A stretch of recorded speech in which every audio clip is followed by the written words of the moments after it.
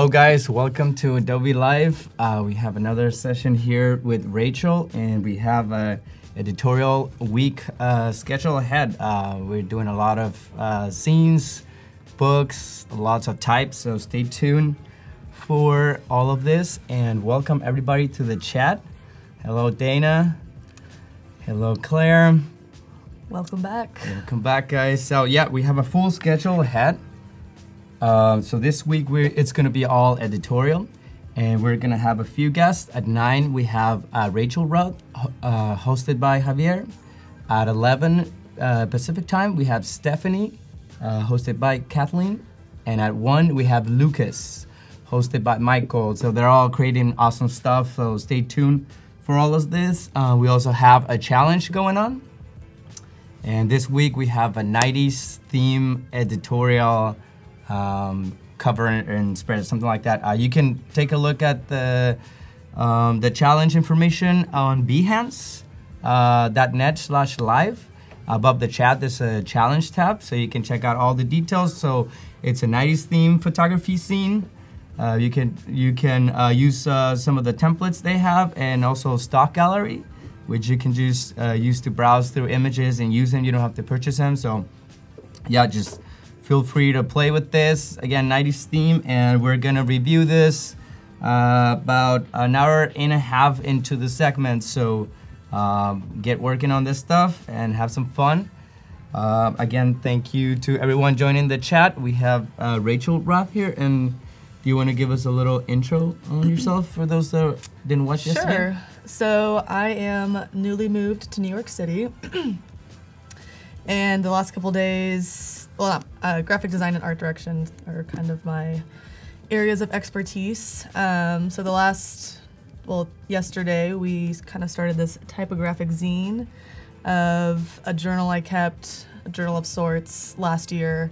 And the challenge was really just to write something every day. So we're working with a lot of content and kind of making this experimental typographic little zine this week. Yep. So yeah, we're playing with a lot of type. There's there's uh, grids. There's all kinds of stuff going on today with uh, today's segment uh, or this segment and uh, segments later on. So uh, make sure to check that out. And also we also we have a chat and win um, where you can uh, just start chatting and you'll win a prize today. We have a little giveaway which is some uh, temporary tattoos uh, from Adobe that you can just uh, sport on your arm proudly.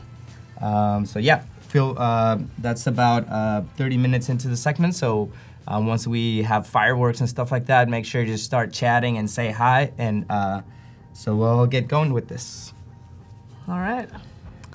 So I figured we could just kind of review where we left off yesterday. So we have the Daily Writings 365 2017. And this was kind of the cover that we're working with. And then kind of this intro spread with that prompt to write something every day in 2017. Kind of the objective of this whole daily challenge. And then this kind of working table of contents of sort that kind of breaks down the year and different ways to measure a year. You're also playing around with color for Yeah. seasons. Uh, Yeah. Some it's somewhat of a calendar, right? Yeah, yeah, I, I would say there's some influences of the calendar in here just as a way to measure the year and kind of break it up. And it's also a very tiny zine. Um, it's four by six. Yes, so I think Mm. somebody called it a micro zine. Yeah, micro zine. So we have a we have lots of small type, and again, this is very um, experimental. We're not really paying too much attention to rules. Yeah, yeah, yeah. Paying attention to some of the fine details, but Yep. also leaving some of them up to chance. Mhm. So yesterday I kind of ended on this very full, kind of like maximalist spread. Um, and I went back last night and I kind of cheated. I tweaked it a little bit, so I thought I would show you guys just the difference there. So this is where we left off yesterday. And as you can see, I went back.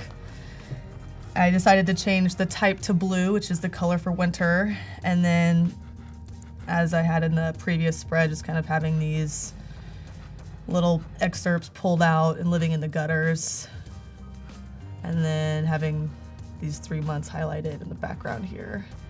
So that just kind of, once again, shows you just how I kind of went back and cleaned that up a little bit to save some time. Are this uh, two options of the same spread, or is it? Um, Well, so I, this this spread right here will be deleted. okay. I just wanted to show you guys the difference. All right. So this So is the new is spread. this is the new spread. Okay, cool. Yes.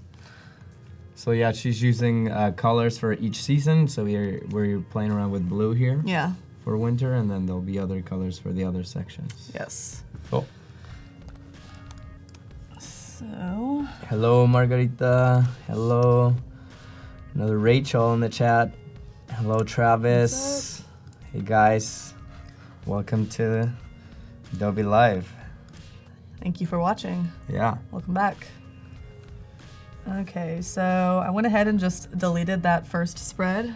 That was kind of our experimental one from Okay. yesterday. And this is once again just to kind of save time so we can keep moving forward. Um, also, just you know, kind of change of plans here. We had said yesterday that it was going to be 16 pages, but uh, that seems to be proving a little bit of an issue. so we're gonna just kind of be adaptable and roll with it. And I think it's gonna actually have to be 20 pages in the end. And once again, I think this will be saddle stitched, so keeping the page count divisible by four, so that we can print it in that way. Okay. Yeah. Yeah. Uh, we. I think we look at the the document where she had all her writings. It was quite a bit of, Yeah. of copy that she had. show that again. Um, so she went ahead and edited before the show, or formatted the text before the show. So yeah, it's quite Yeah, a bit uh, to fit on the zine. And again, uh, we're using a very small type. Uh, it's there for people to read if they want to, but um, it's also just kind of there to create texture. yeah, exactly. It's there if you want to read it, but you don't have to if you don't want to at the same time. Heather says, "I love this idea. The Daily Journal turned zine." Uh, Peggy! Shout out. Hi, Peggy. So I ended on this quote yesterday, and I decided to actually put that quote up here instead. So I think I'm going to change it to this. This was inspired by a friend telling me he had done a police ride along, which I hadn't heard of. Have you heard of those? Nope. So apparently, civilians can ride in the passenger seat of a police car for a shift and just kind of Hmm. watch and observe what happens. So one of my coworkers was telling me about it. You know, they had this like crazy story. So I wrote down that day that That would be scary. it's something I wanted to do. But yeah, thinking back on it now, it does actually sound pretty stressful. So who knows? Has any anyone in the audience ever done a ride along? Have any crazy stories for us? Destiny says, "This looks awesome. Loving your use of the grid." It is very helpful in this She's case. playing around with uh, type uh, uh, going uh, horizontally and vertically, so experimenting. Kind of that like stream of consciousness, Mm-hmm. you know, scattered thoughts. Igor from Brazil, welcome. Heather says, I did that once. I watched the cop do a lot of errands. Yeah, I feel like it could be either Yeah. crazy or boring Yeah. or yeah, lots of things it could be. Rasim says, Hi everyone. Welcome, Rasim.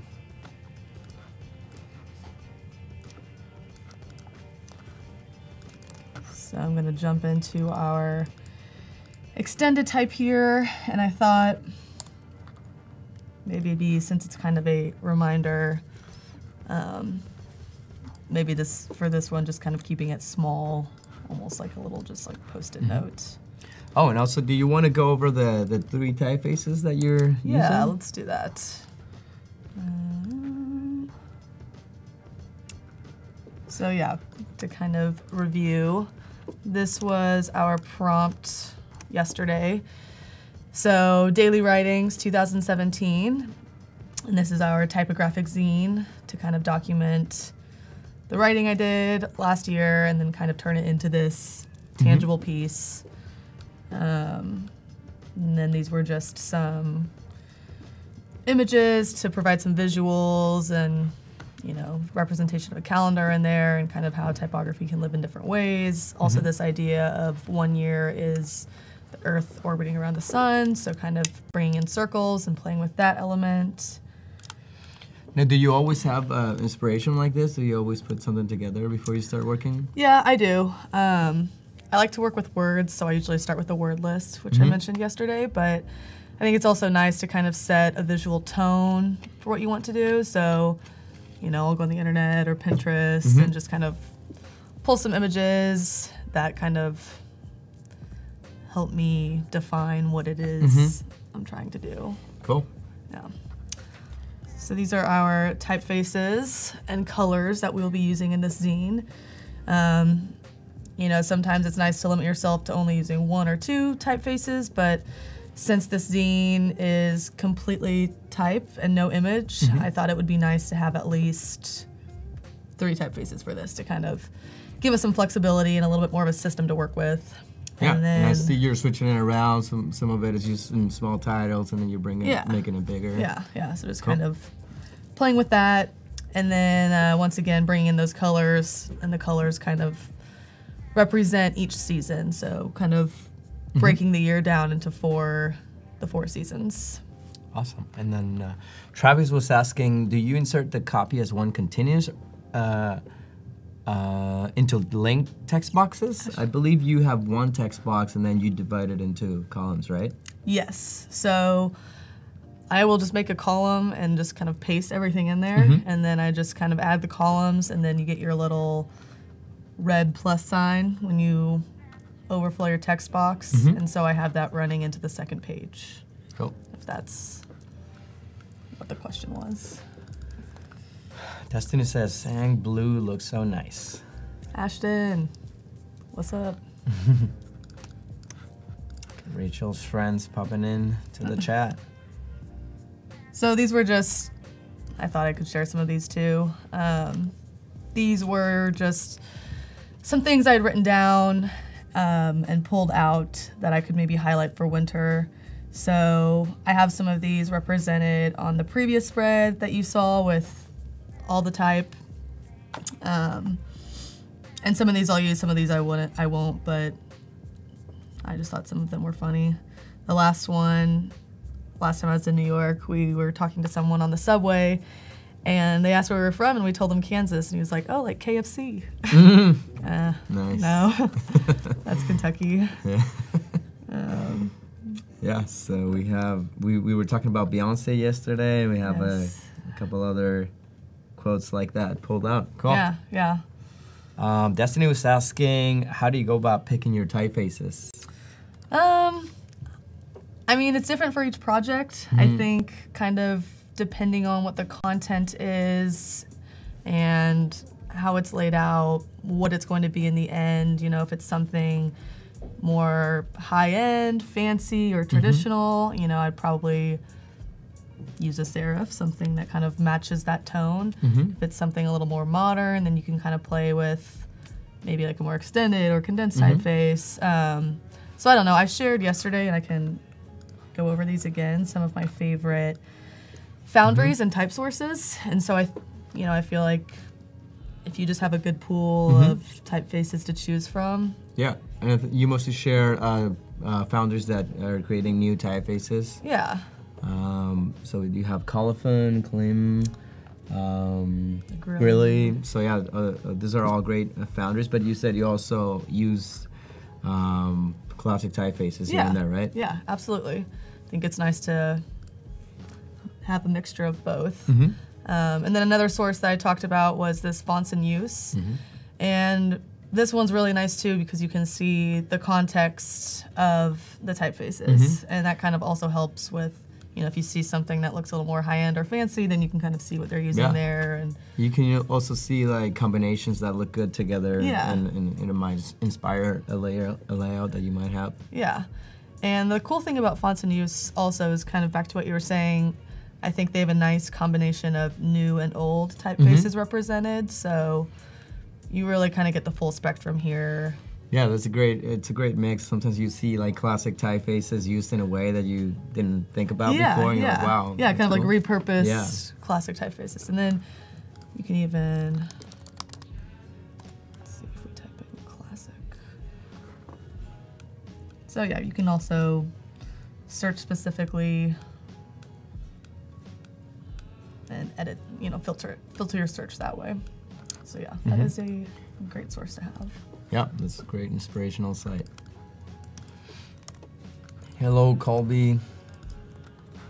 Hello, guys. Welcome to the chat. Carson says, watching you work makes me want to make something too. Do it. Yeah, go for it. Yeah, there's also, um, we have a challenge going on. So if you're inspired, uh, make sure you go to behance.net slash live and we have a little challenge tab above the chat and you can look at all the um, instructions. Uh, there's a template. It's a 90s theme. So yeah, you can um, think of going back to the 90s, um, Saved by the Bell and Oh, yeah. that kind of stuff. So, Show us some of that grunge too, yeah. 90s grunge. oh yeah. So have some fun with that. And they win a free year of Oh yeah, if you um, on the challenge, uh, we'll review the challenge uh, entries, and then uh, the winner will get a full year subscription to uh, the Creative Cloud. So that's pretty good. Make sure to check it out. this blue color. Hello, Shani. Ismael. Mic check. Mic check.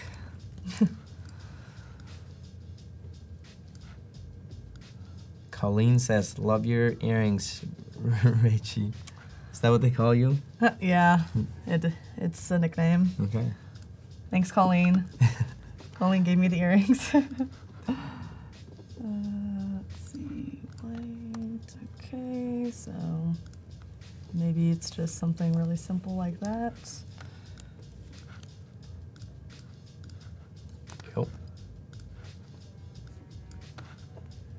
Do you always leave uh, your grid turned on like that, or do you also work without it? Um, I think for the most part, I leave it on. Um, Cool. yeah, I would say so. Um, I've also gone ahead and put all of my colors into this folder here. Mm-hmm. That kind of, I don't know, I like to keep things organ- as organized in the file as possible. And then That's once nice. again, these colors are in RGB right now, which isn't really appropriate for a printed piece, but I just figured it would represent the colors I'm trying to pick the best for right now. But if I when when you would take this to a printer, you would actually pick the Pantone swatches that match these colors. Yes. Cool. Do you ever use uh, layers on InDesign? Um, I'm not a huge fan of layers personally, but when I get into the print production side of things, I will. So if there's a die cut, um, Mm-hmm. or you know any sort of process, you know, I'll put that on a layer Cool. and label the layer like "Do not print." This Mhm. is deboss. Yeah. Cool.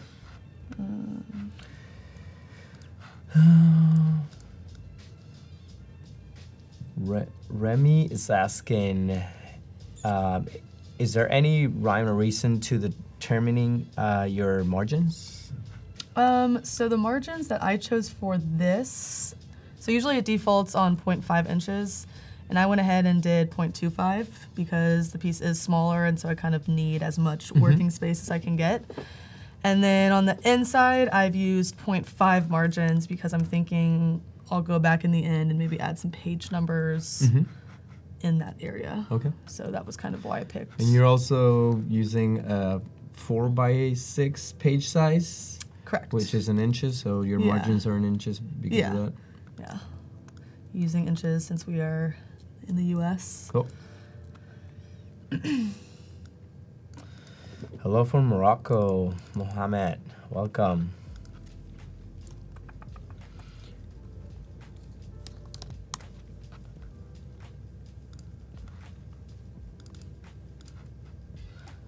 Kobe's asking when you show editorial illustrations in your portfolio, do you use mock-ups or just pages? I'm Not sure if I. Um, if I am understanding the question correctly, I have been lucky enough to be able to print everything that's in my portfolio and actually photograph it.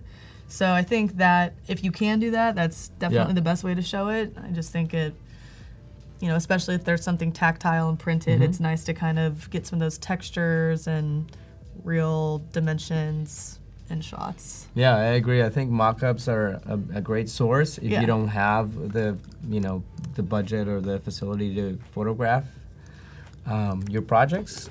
But yeah, photography, if you can do it, it's always a plus for, for me. Yeah, yeah, absolutely.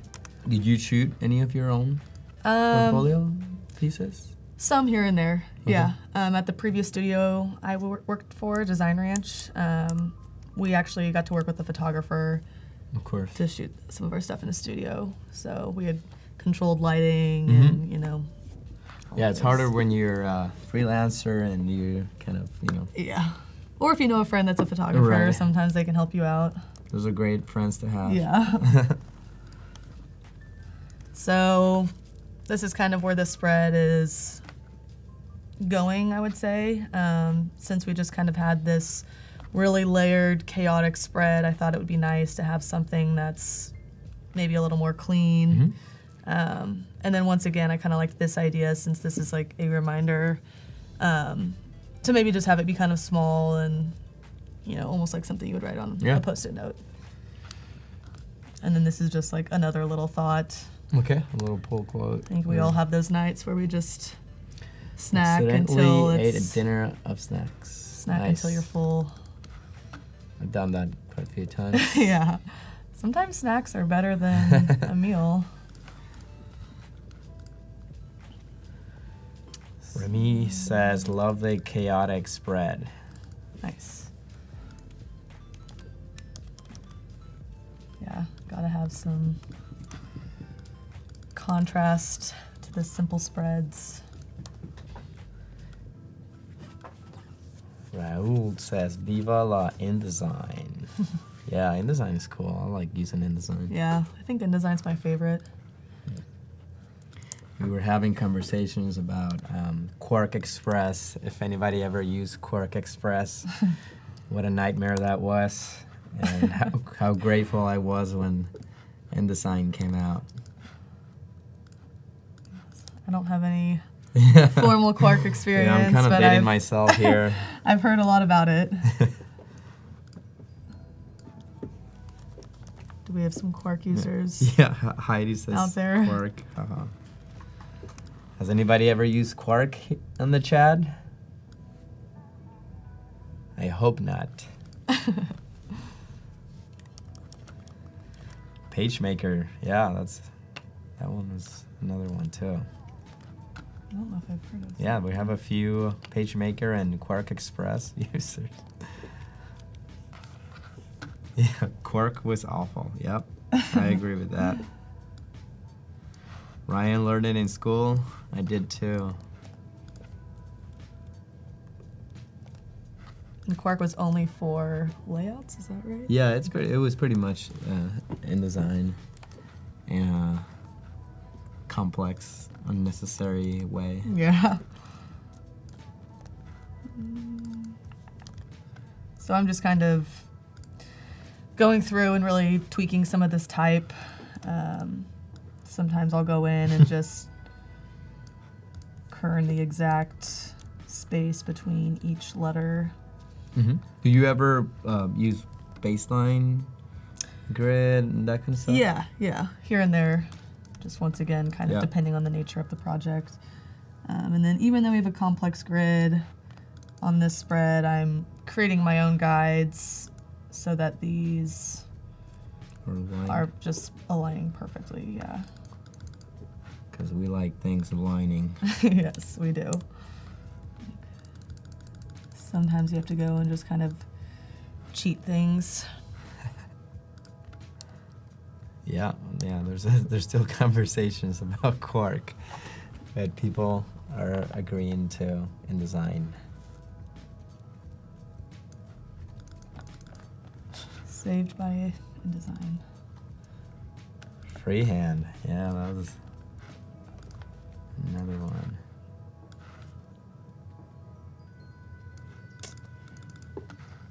Carson says all the typefaces are so sexy.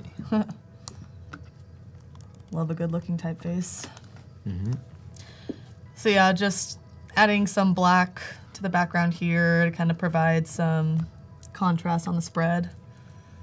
And then once again, kind of using this circle as an idea of the sun and hmm the earth orbiting around the sun.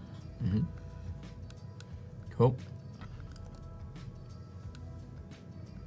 And we'll go back and maybe add some little type there. hmm Awesome. Yeah, guys. Um, again, check out the challenge. It's uh, back to the '90s theme. A little tab on behance.net slash life. A little tab above the chat. Check it out. Uh, we'll review them, and there's a one-year subscription to Creative Cloud uh, giveaway for the winner. So check it out and participate and there'll be more challenges uh, throughout the day. We have a full schedule, um, all editorial designers. So, yeah, make sure to check it out.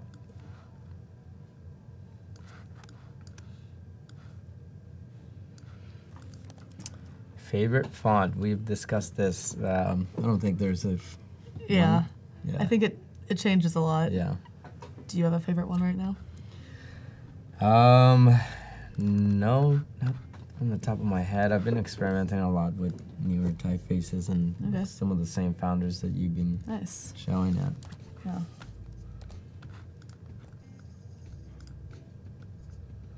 Yeah, I mean, I think it's fun to always try to work with some new Mhm. typefaces.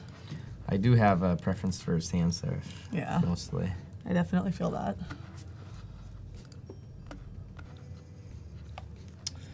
Um, so here, what I'm doing is grabbing these three elements and using the align uh, table over here to just make sure that those are perfectly spaced. Mhm. So sometimes you can use this tool, other times you just have to make a box and kind of manually measure the space Mhm. yourself. And sometimes you can cheat a little bit because visually it might not align, but Yeah, exactly. Mm. Yeah, sometimes the mathematics don't necessarily look the best. The mathematical. Adriano says, "Oh, I miss working it with InDesign. Do it.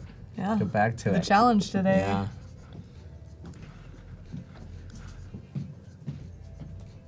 Yeah, I think you, it's always fun to make out um, a project on your own, like this one for yourself. You just kind of were playing around your downtime, and now Yeah. you're turning it into something. So Yeah. I would highly encourage everyone watching to just create something. If you haven't worked in InDesign, just grab it and create a little zine or something for fun. Do it. Okay, so I'm once again just playing with the layout and how I want to display this date. So I think I'm just gonna Oh. Chris says, hello from Honduras. Wow. international. Welcome. Welcome to the chat. All right, so moving on to spring now. All right. We got some pink. Once again, we might, you know, I'm kind of leaving things as they are right now, but might go back and kind of fine tune some things tomorrow. Maybe add some layers to it. Cool. We'll Yeah, see. we got 20 pages to fill, so. Yeah. And lots of content. Mhm. So let's just kind of Corinne, if I said that right, hello from France. Welcome. So yeah, we have a little um, chat and win situation going on. We got fireworks. It's gonna get crazy. Start chatting. Uh, there's a little giveaway. So hello, guys. Welcome to the chat. Um, Some It's just temp a tattoos. yeah. It's gonna be here. drawn by the computer, I believe. So all those who are chatting. So we'll have a little intro video for that.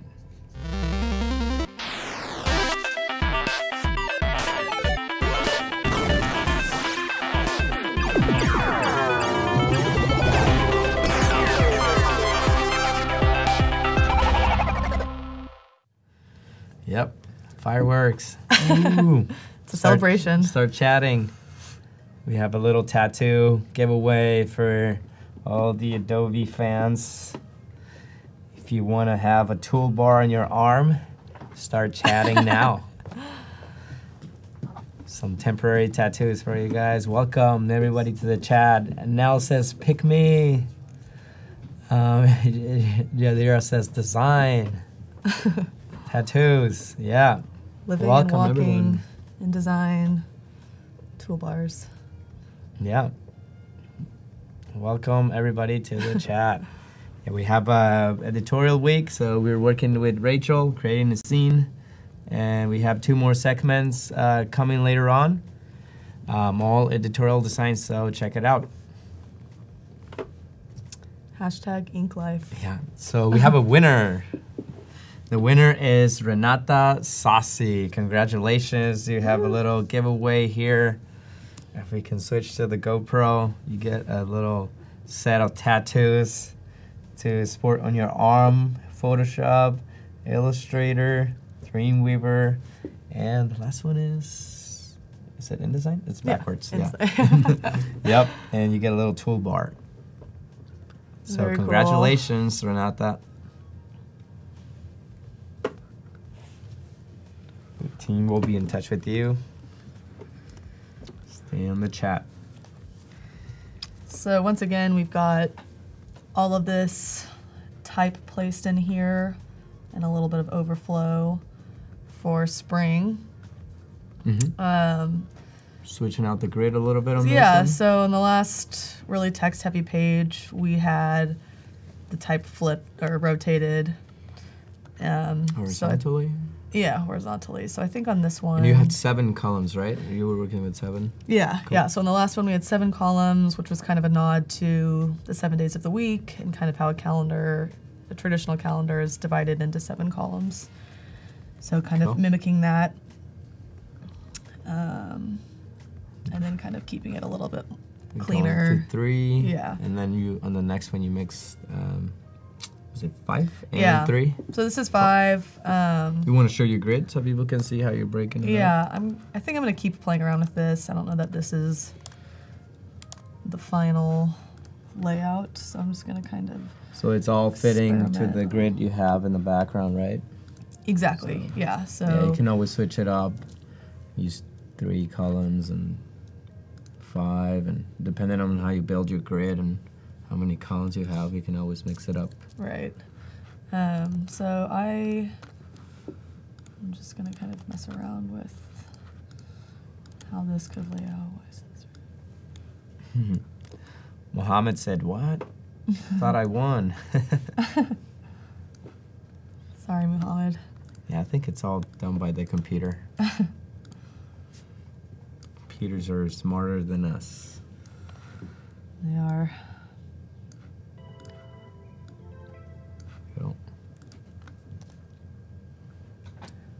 So this is kind of a weird way of doing this. It's something that you probably wouldn't do for a client, but uh, once again, just kind of yeah, playing with type in the grid and using tricks we haven't so used you got text going at different.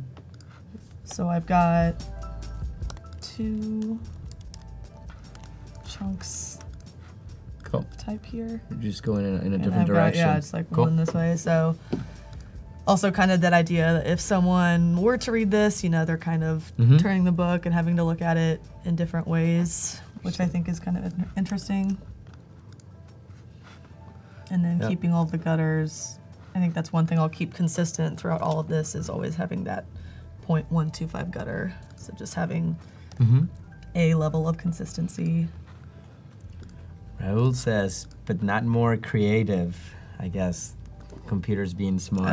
Oh, I don't know. Some, uh, Yeah. We were looking at some uh, one of the other segments. Uh, one of the, Yeah. the guys, Lucas, was creating some crazy stuff with really crazy stuff. scripts. So, I know. Maybe one day they'll be more creative than us.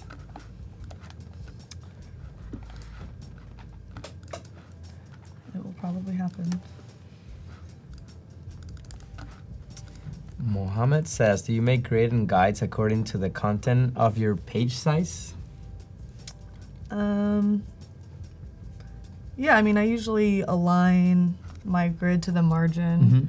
Um, and then, yeah, I mean, I think it's nice, if anything, to give yourself more columns than less Mhm. because you can always, I mean, you don't have to use every column. You know, you can have a column Yeah. spread across a couple on the grid, if that makes sense. Yeah. Yeah. Um, totally. So I think it's, you know, sometimes it's better to have more than less to kind of give yourself some flexibility. But Yeah. sometimes it's nice to have the restraint of, Yeah, I think if you want to get really technical and uh, align all your type, you know, to point sizes and picas and all that, it Mhm. might make sense to uh, pick a grid that fits within the uh, unit system you're using. So yeah, that that's more for like technical editorial work, I guess. yeah. Um, we're having experimenting a little bit here, so having a little bit of flexibility on all that is uh, is helpful.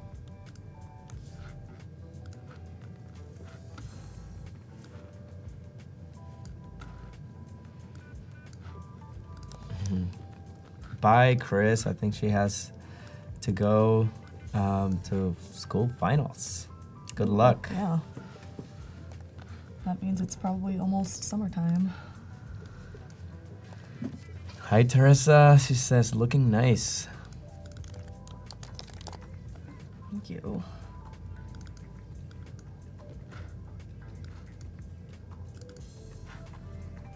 Uh, somebody, uh, Travis is asking, uh, when it's time to publish, do you work with print houses yourself? If so, uh, are there any tips uh, for the handoff? You export a PDF, package the InDesign, or Um, yeah, so the experience that I have with printing was, like I said, through the studio, mostly through the studio that I worked for previously, Design Ranch.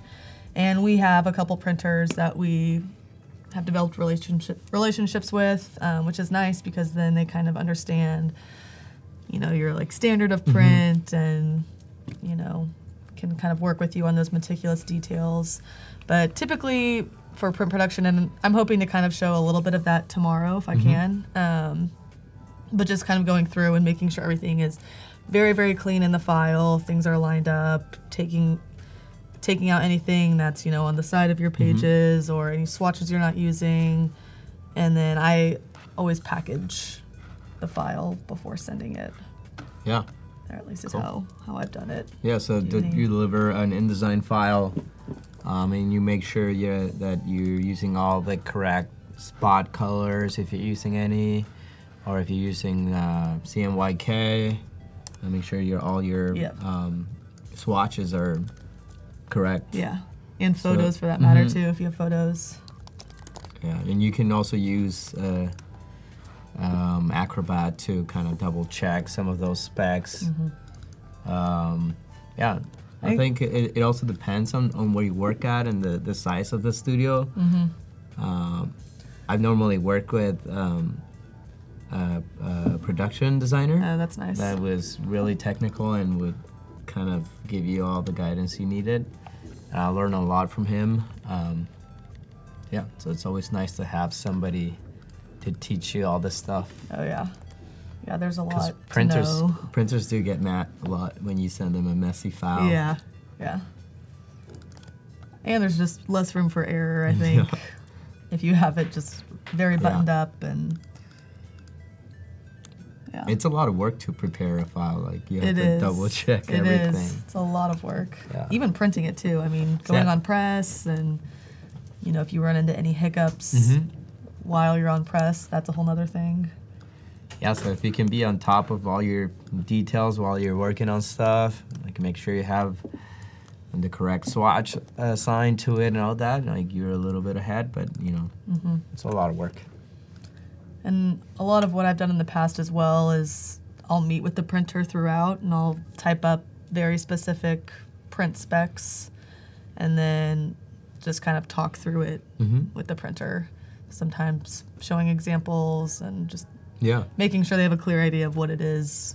Yeah, if you're, You're trying to using uh, more complex printing uh, methods and stuff, yeah.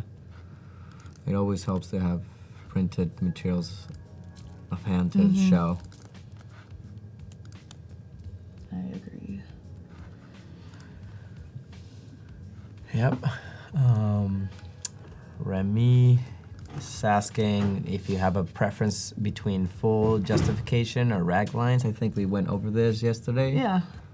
Um, Um, For this Yeah. for this purpose, I think we're using justified, and we also had a conversation over hyphens. oh yeah. Uh, Lots of hyphen since- talk. Since we have a really tiny text and tiny space, uh, the hyphens help with the little rivers uh, that happen on the copy. So, uh, do you have a preference for justify versus Ragged? I don't. I like both. I think both can be cool and appropriate. Um, but yeah, it just kind of depends on Mhm. the nature. Like for this, because there's so much type, Mm-hmm. um, for the body copy, I am justifying it just to kind of maintain a sense of structure. Um, And then, yeah, I mean, Yeah, if you have shorter copy, you know, you can always go and like edit Yeah. manually Yeah. your, your rag lines. Um, yeah, so if I was pulling out just one paragraph and it was like, you know, 12 point type, mhm. I would probably go through and manually hyphen it or make sure it wasn't hyphenated. Mhm.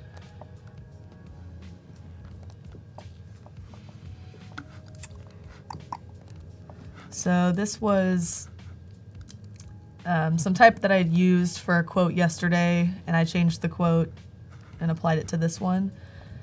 So working with that as a pulled quote in our spring section. Cool. And then kind of once again playing with column widths, keeping it kinetic Mhm. and dynamic, um, and then bringing in that spring color this time as a background. Okay.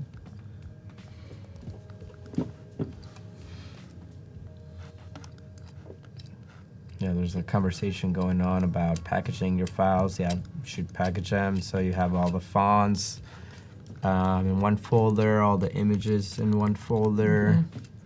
Uh, you can also do this manually, but InDesign has an option to package your file, and as long as everything is linked correctly, everything should be packaged into the file.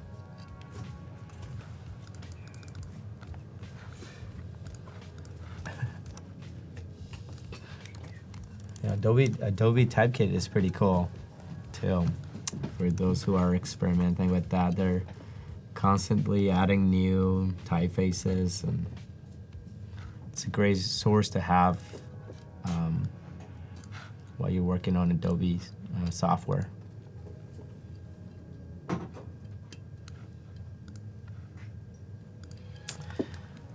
Minville is asking, is there a cheat sheet or tutorial to learn how to use paragraph or character styles? I'm sure there's a ton of tutorials yeah. out there. Just I think there's a tutorial for, for just about everything.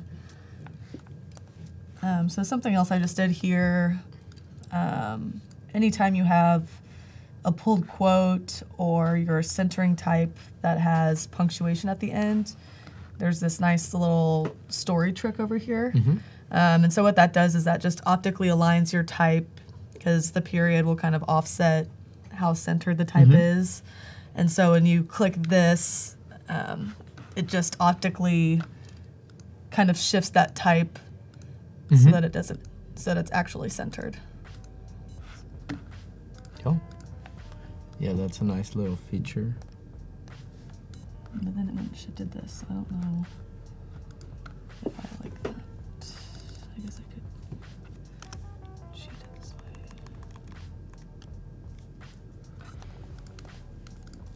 mining stuff.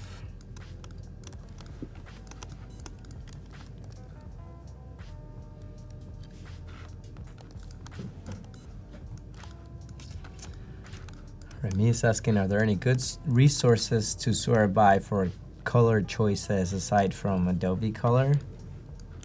Um, I would say just go through images you like or books that you like and kind of build swatch uh, swatches from there. So you can add them to your library and like uh, use them constantly, switch them around. But I don't have one particular source. Do you? Um, I don't think so. Just kind of, yeah. Agree with what you were saying. Okay.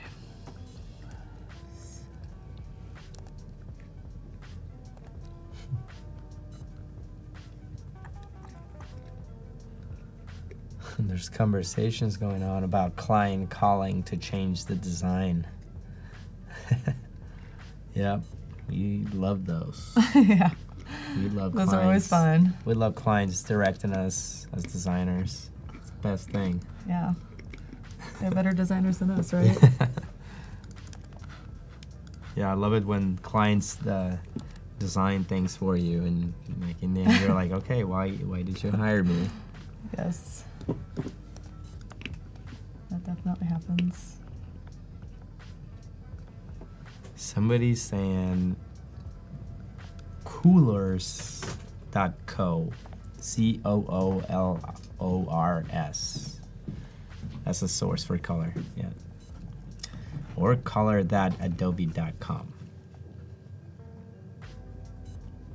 I've never used Check it that out. one. Yeah, I'll have to. Actually, kind of curious. Let's see. Color. Color that adobe.com. Let's check it out. Okay, yeah. I remember learning this in school. So I think this, if you pick, you could do like complementary colors, Mm-hmm. and then it will go produce a uh, color palette for you, depending on where you are on the color wheel. Mm-hmm. It's kind of nice. Yeah. Again, computers doing things for us. It's Yep. great.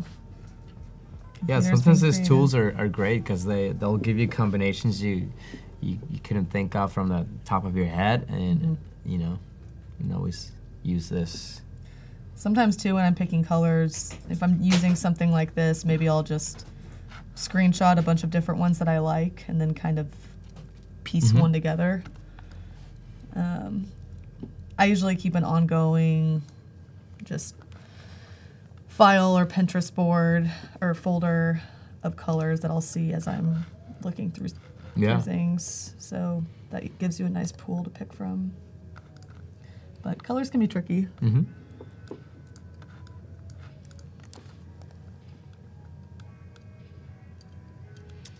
Sarah's asking where do you start your basic layout designs, sketching them out versus digital wireframing, or do you just tend to play as you go? Yeah, I think we. Yeah, for this, we're kind of playing as we go a little bit more. Um,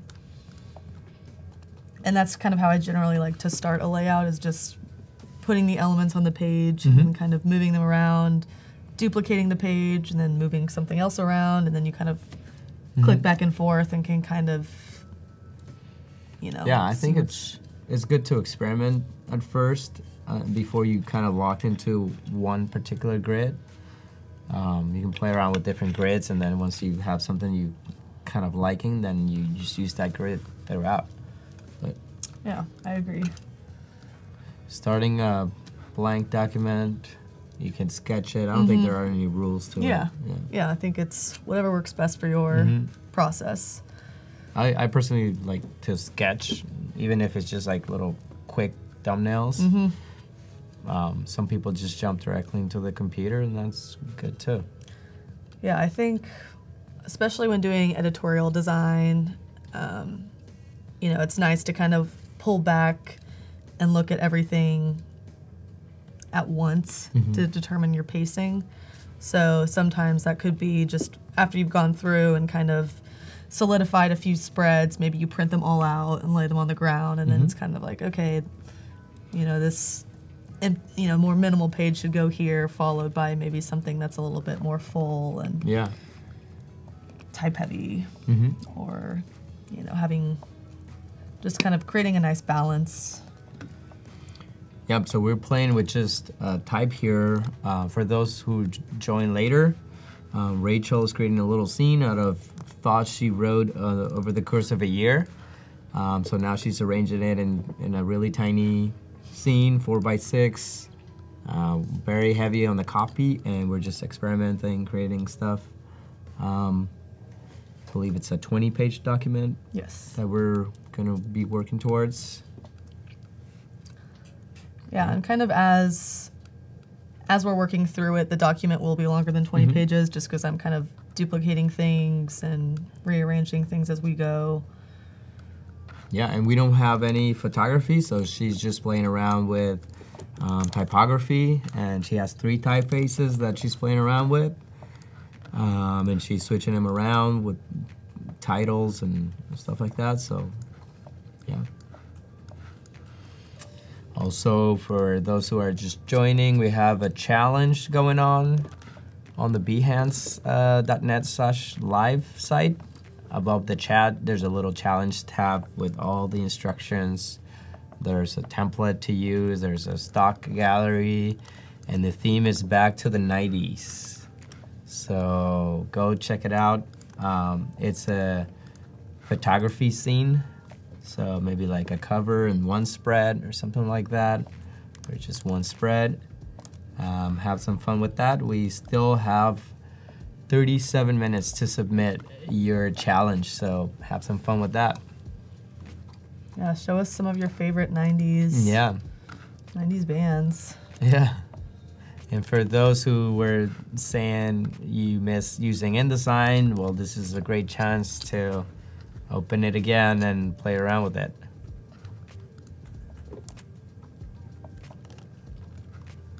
Yeah, there's no, um, the typefaces, just have some fun with it. Make sure it kind of cues to the 90s. Uh, Rachel was mentioning that grunge era and those um, funky grunge fonts that Oh, yeah. were heavily used back in the days. Um, Lots of 90s yeah, 90s. textures. Yeah.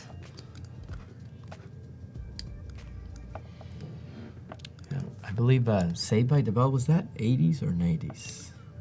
Early 90s, it- maybe? Yeah, I feel like maybe early 90s. Yeah, the little poster we have kind of reminds me of Saved by yeah, the Bell. I s- could see that. So yeah, guys, have some fun. Check out the challenge tab.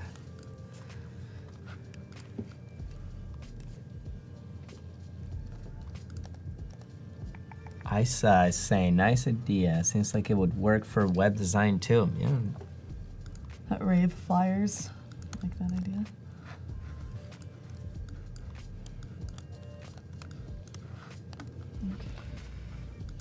Electronic music. Yeah, I guess it was it was a good era for electronic music as well. Rave flyers, yeah.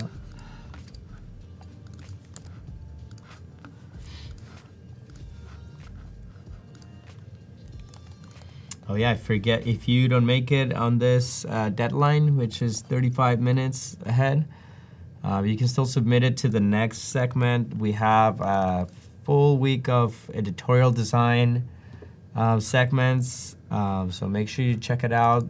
Um, there's more at 11, and you can still submit your challenge on that segment. So check it out. Stay tuned. Lots of zines, type, grids, if you like all of that. Stay tuned on Adobe Live.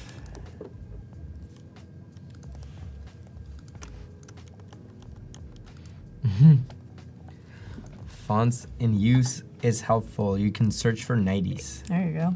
Yeah. I'm sure you can search for 90s also on Typekit.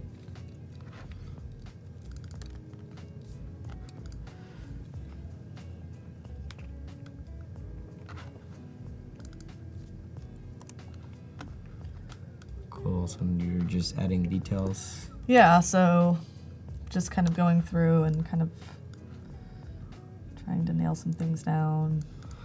What are, what are you doing? Um, so here, I'm kind of trying to figure out a way to mark the end Oh, of each season. Um, so just kind of, you know, over here, it's a little dash for the end of spring. Okay. So maybe keeping, maybe that's a consistent element Yeah, that's fun. that I keep.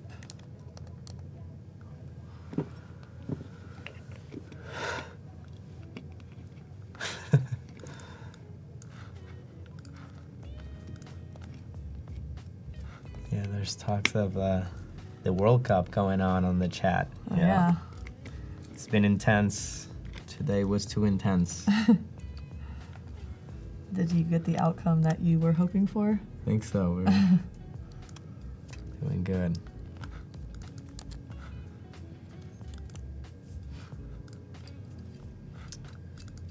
Matthias says Sweden. Yep. they did good.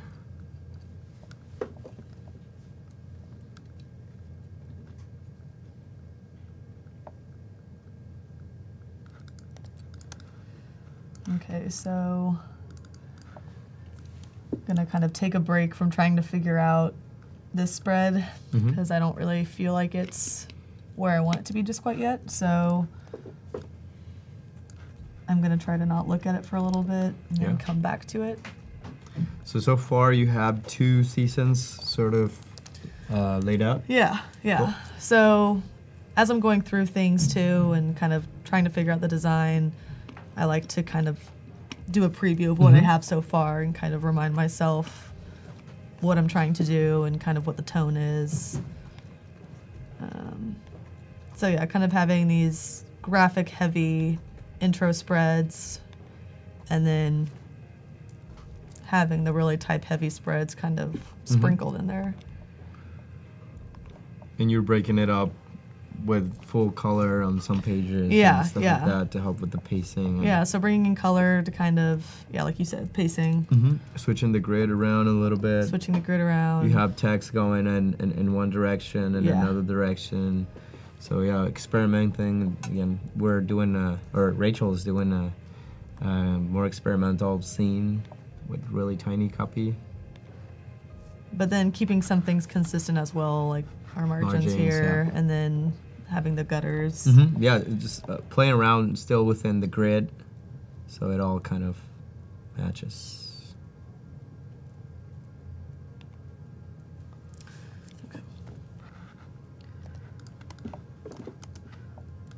So this is the end of spring. Sarah was asking, do you utilize the fairly new publish online feature? I love it. That would be handy for a zine. Yeah. I'm actually not familiar with that. Do you know what that is? Yeah, I think uh, also um, for the challenge, that's kind of how you submit your your um, design, I believe. So yeah, it creates like a little URL or something like that. Okay. Very cool. I was not aware of that. You guys can correct me if I'm wrong. I haven't used it much either.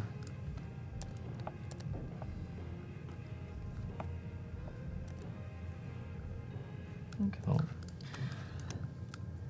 So once again, So how are we feeling? Are we? Do we have enough change in the layout? so do you Um, feel like you need to add something else? Yeah, so like I said, I'm I'm feeling pretty good about most of it except the spread still feels not So- right to me. Does it feel too similar to the other spread, or what is it? that Yeah, I think a little bit of that trying to make it different than this. Cool. Um, but also kind of yeah, I want it to feel a little bit reflective of the season as well. So like I said, winter was I feel like winter was kind of chaotic last year. Mhm. There were a lot of things that happened with inauguration, women's march, and then I had done some traveling. So that's I kind of liked the idea that this spread could be a little bit Okay. more chaotic.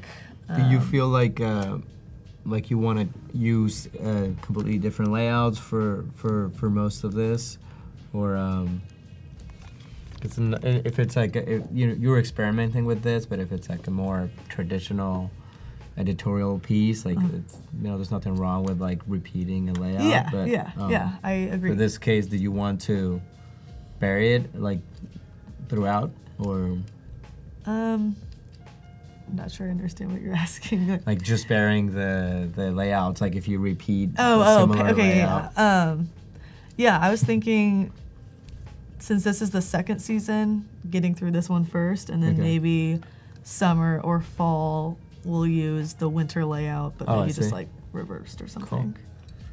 Is that what you were asking? Yeah. Okay. Yeah, I'm just I, yeah, just asking if you were okay with repeating. Yeah, yeah. I mean, Or if you want to just switch it. on. yeah. Usually, if it was for a client, you would establish. Yeah, like for more traditional Yeah, tutorial, yeah. you, you might have to go back to. Yeah, you'd probably layout. have like four spreads maybe Right. that you kind of use as a template. Cool. It's kind of hard sometimes too working with these layered pieces and trying to find Mhm. where they all are. Somebody's saying the cover with the black square over the text is nice. Oh, yeah, it's a little nice little trick. And Carson is so stoked on design live stream is a thing. Cool. Thanks for joining us, Carson.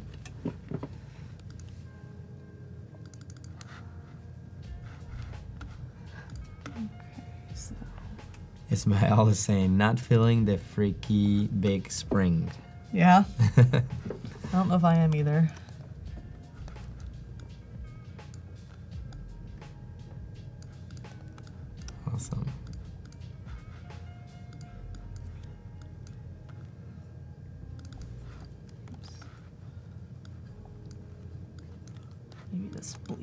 Here, and then maybe we just lose that.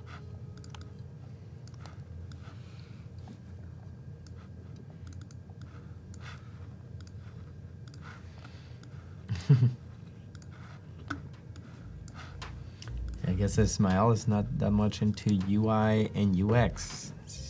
He says, "God bless Rachel." There's more. there's more editorial design coming up, and, and, and Adobe is switching it, it around all the time. There's illustration weeks. There's um, you know branding. So yeah, keep coming back. Um, there's great stuff being created for everybody. Yes.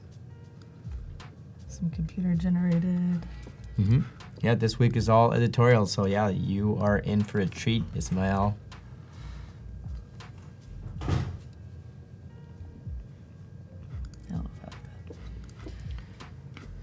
26 minutes to share your challenge.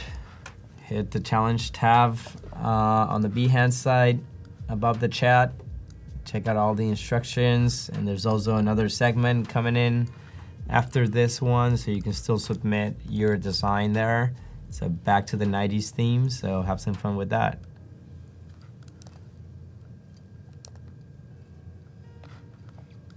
Did you have who are your favorite '90s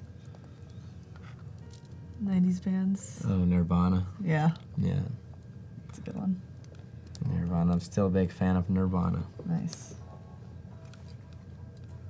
What about you? Well, I was probably too young to appreciate Nirvana in the '90s.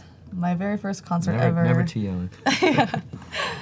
I didn't have any older siblings to introduce me to that kind of stuff, so I was on the Spice Girls, Backstreet Mm-hmm. Boys kick. Spice Girls was actually my first concert ever. nice. So, Here in the U.S. yep, It's Yep. awesome. in Kansas. Yeah, the Spice Girls were big in the '90s. Oh yeah. That could influence the challenge, a challenge submission maybe. Ooh. Just very throwing, out, throwing out ideas. Somebody's saying Alice in Chains. there we go.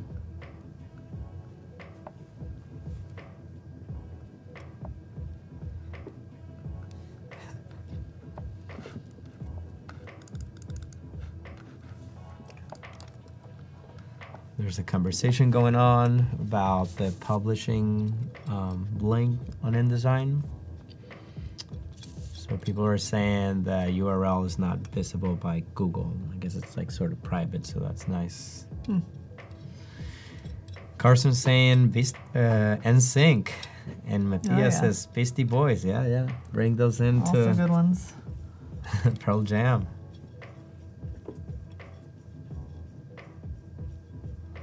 Cool.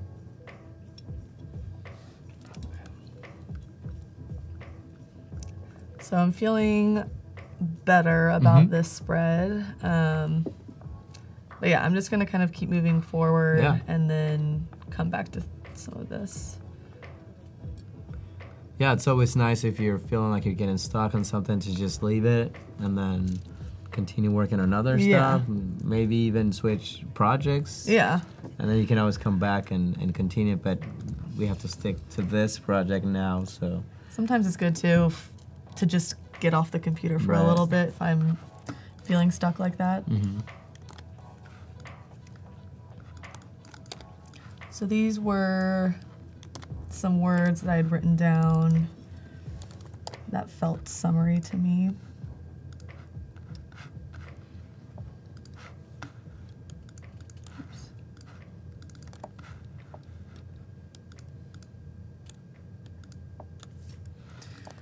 So we have gingham, cicadas, bike rides, ice cream, thunderstorms, and lake. And these are words that ins- that uh, inspired you to create this, or words that were, or something that was happening. Uh, you were Uh, they were, these were just words that I had written. I, I noticed these words recurring in a lot of my entries Okay. over last summer. So I thought it could be kind of a nice introduction to the season to just kind of highlight Okay. these words that really emulate summertime. thunderstorms. Yeah, Kansas City has some crazy thunderstorms. Yeah. So, and I lived on the almost top floor of my apartment, and I swear it would just like So rumble the building. Most of this uh, thoughts and writings are happening around Kansas City. Yes. Yeah. Yeah. This the year that I wrote these, I was living in Kansas City, but yeah, traveling Cool. as much as I could.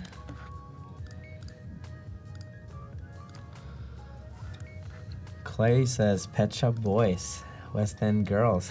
yeah, that's a good one. George Michael. Nine Inch Nails, that's a good one.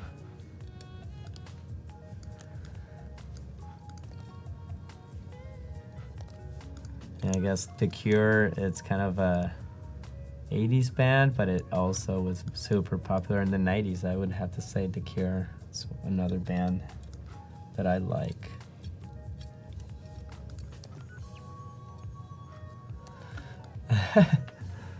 Matthias is saying Adobe Live, you were born in the 90s. Yeah, I guess that's accurate. and Tim is saying Macarena. Oh yeah, yeah. that makes me think of Ooh. roller skating rinks. Aphex Twin, yep. And Portishead. Yep. Yeah, Great electronic stuff. Oh, this is cool. I also kind of like that when you zoom in. So maybe You repeated the the same. yeah. So I just Cool. Took this type and used the paragraphs styling to kind of align it to different edges Mhm. of the text box. So you have center, line left, line right. Yeah. Cool.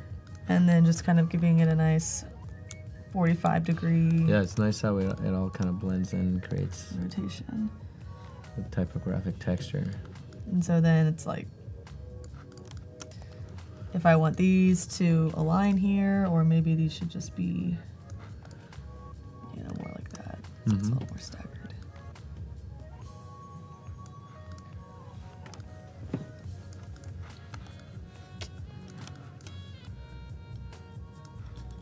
Uh, Bruno's asking Rachel, would you print this project in CMYK or Pantone? Are you thinking about that as you plan your pages? Yeah, I think so. Um, yeah, I mean, in a perfect world, I would probably print it with Pantones, just because they're nice. You know, you get a richer color and you have more options that way. I think, whereas digital or CMYK, um, it's hard to get those really Mhm. bright, rich Bright colors, colors yeah. sometimes. Um, yeah, I mean, if you were really going all out too, you could throw some neon in there or something that you wouldn't be able to produce with a digital printer. Yeah.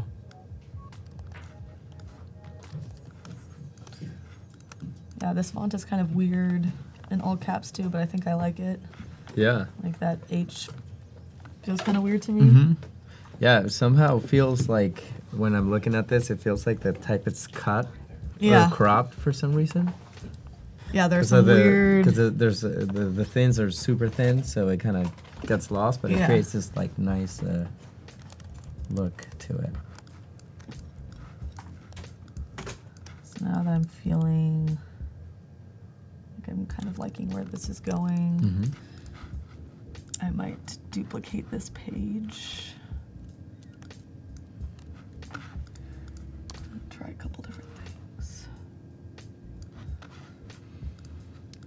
Cool. So you're keeping one as is, and then you're gonna experiment more. Yeah, You do that a lot to go back and.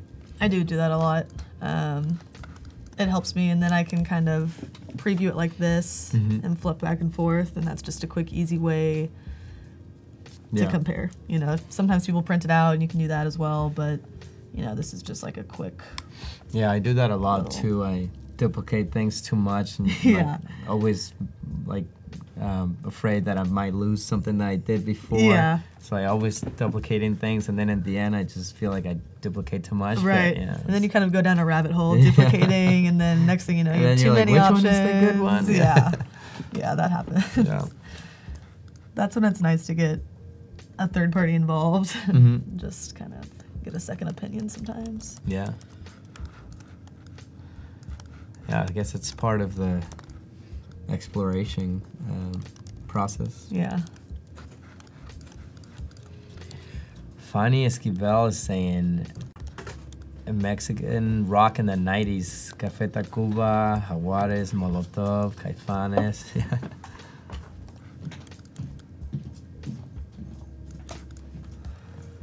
Spice Girls versus Grids and Guides, says Mohammed. Getting a shout out from Caleb. Hi, Caleb. Really strong and dynamic layouts. Um, so I think what I'm. So this is kind of the first spread where I would have spring and summer together. Mhm. So I think it might be nice to have a little bit of that so it's not so rigid divided. Mm-hmm. Um, but if that's the case, I will need to put the spring over here.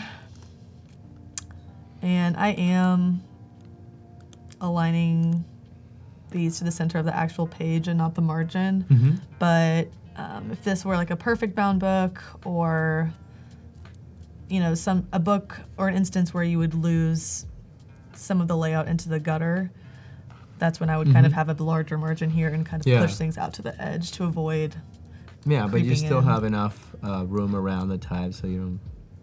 Not so worried about that. yeah right? exactly and this is going to be saddle stitched, so we don't really have to worry about that Yep. Get those '90s scenes in. Have some fun. Open up InDesign, undust it. It's a it's a '90s theme, Mohammed. So yeah. Uh, there's a little challenge tab with all the instruction um, on the Behance site. So check it out. Above the chat, we have 15 minutes roughly to submit your uh, design. There's talks of um, 90s bands, maybe even like 90s shows, TV shows, anything So that could inspire. Nickelode- Nickelodeon, anything that could inspire your design. Have some fun. We'll review them, and there's a great giveaway. It's a one-year subscription to Creative Cloud, so check it out. yeah it's a pretty good prize Mm-hmm. I So, should yeah, be working on a challenge submission. So once again, kind of going back now that I've, you know, kind of put those initial type thoughts down and angled those and formatted my little summer word list the way that I liked here and kind of taking it and duplicating it. And you can kind of see, like this, I don't know, to me, this one feels a lot mm-hmm. more dynamic. Yeah. Bringing that red in and then taking the size down a little bit so there's less competition with what's happening over here. Cool. Yeah, and then back to the printing question. Um, I think for this, I would definitely print it in CMYK if I could because there are certain colors that are especially hard to print digitally. And one of those is Yeah. this blue. This blue is really hard to replicate. So, Yeah, what is it called? Is it key blue or that printers hate? They could print it, but Yeah, they for some yeah. reason it's hard for it to dry or something like It that. is. Yeah, I did a branding project for an architecture firm with that studio or with that color. Um, and yeah, it was, I mean, it, it was an offset job, so Yeah, it was print- fine. Printers are not yeah, that is a hard. not happy when you pick that color. yeah. Yeah, the whole color system is Mhm. pretty complicated. Yeah, You have Pantones and CMYK and RGB and everything prints different depending on what printer you're using. Mhm. yeah, and it's uh, you know it's more expensive to print on Pantones, but um, Oh, one yeah. of the cool things about working with a, a production designer uh, that knows printing inside out. Uh, remember, we did this project where he uh, we didn't have a budget for Pantones, but um, he managed to talk to the printers, and they actually tweak each of the CMYK fonts to look more like neon colors. Okay. So we did something crazy with that, and, and, and it turned out amazing. I know that there's also, um, is it an Indigo printer now? Have you heard of this? Indigo Press or Indigo Printing? No. It's a, It's digital. it's like a new digital, Yeah. but it produces a more vibrant Yeah, yeah. color. I I haven't really used it yet, but it was something Mhm. that we had talked about with a printer in Kansas City. Yeah. Or Riso printing is pretty cool. yeah, too. yeah. It's another option. Very popular on zines these days. Yeah, definitely.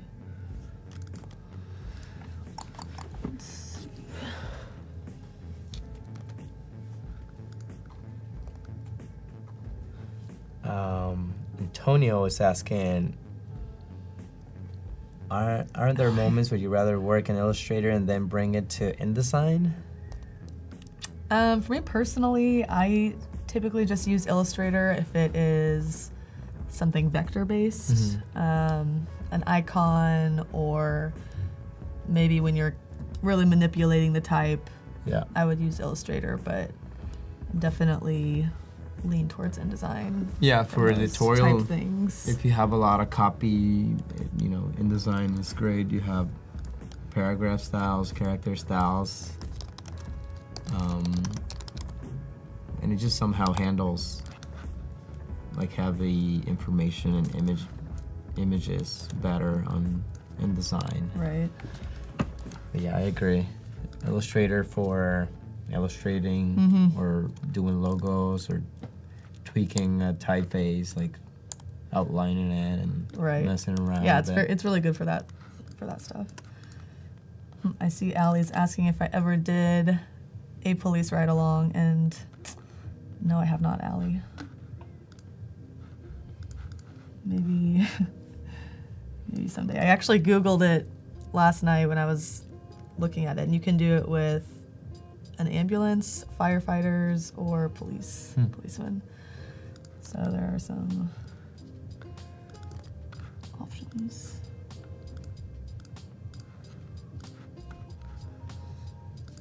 Um, Ismael is asking, how do you add those blue signs of paragraphs? Oh, that's another little nice trick. To So he's talking about um, Mhm. these paragraph signs here. So for that, I just go to type and you select this down here, so that would hide them. Um, sometimes they can be kind Mhm. of distracting. Sometimes you don't really need them, but when you have large type, I think it's nice, especially when you're really manipulating and kind of moving things around. It's nice to know where those breaks are. And then sometimes, like if I wanted to align something to the left or the right, I would have to have a hard return in between. Otherwise, it aligns the whole body. So, Yeah, and it's also nice for for body copy. Like if you're trying to figure out like if something isn't looking right, you might turn that on and realize there's two paragraphs Yeah, yeah. instead of one. Yeah, yeah. So So- you can always check all that, or double spacings and stuff like that. so I'm thinking this one is feeling pretty good. So, I'm actually just gonna go back and delete this. No. Our graveyard of design. Good. Making decisions early. Yeah. And then over here too, just kind of trying to figure out a different way to call out the date. Um, might throw a little M dash in there, maybe. This is full. Yeah, adding typographic details. I think I like that actually. Lori says, "Rest in peace to that other layout."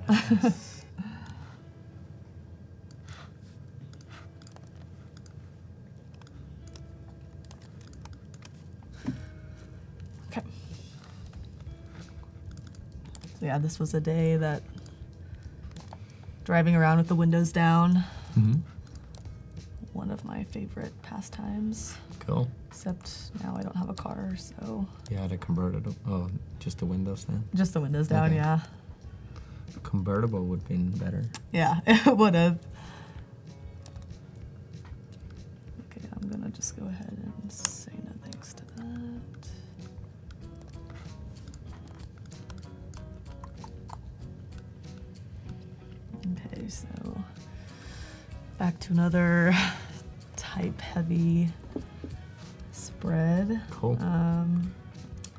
You switched the type to red on this one. yeah, I switched it to red for now. Um, and someone actually commented yesterday having a column go right through the center like this. Um, and I actually decided that I don't want to do that. So I'm going to take this down here. And the first one I have, like these go through the center, but Mhm. that I'm less worried about it going across this Mhm. way, th- whereas having one just like really cut down I think you can still do that in the in the middle spread. Yeah, that's true. Mm-hmm. Yeah, If you wanted to. because then it we have a seamless Mm-hmm. print across. Yeah, I think once you have your page count and all that, you can figure that out. So something that happened last summer that I'm planning to highlight, uh, maybe on its own page or maybe just in the background of this. Um, there was the total solar eclipse, and Kansas City was actually in the direct path of totality. Mm-hmm. So we got to see the full-on That's awesome. yeah, it was a huge deal. Um, but yeah, just really, really, really. Mm-hmm. Yeah, it was cool. great to see from here as well. yeah. Did you have like you know, like a little chip out of the Mhm, sun? yeah. Okay, yeah. Yeah, for the I think we had like I have it in here somewhere. Twenty-seven point four seconds of totality. That's awesome. So yeah, and then it was crazy because the sky just goes completely dark, and this is at like 1 p.m. middle of the afternoon, and then in the distance, all the city street lights came on, thinking it was nighttime. It's kind of eerie and Yeah. Cool, spooky. Yeah, so once again, Rachel here is designing. She's originally from uh, Kansas City. Now she's in New York, and we are broadcasting from San Francisco, where I live.